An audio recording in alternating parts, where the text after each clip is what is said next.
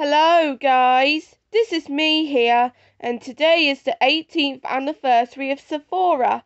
Yup, that's right. On this day in 2005, Zathura was released in theaters, and it's a good movie. So happy 18th anniversary, Zathura. This is what I like to say. This is me signing out.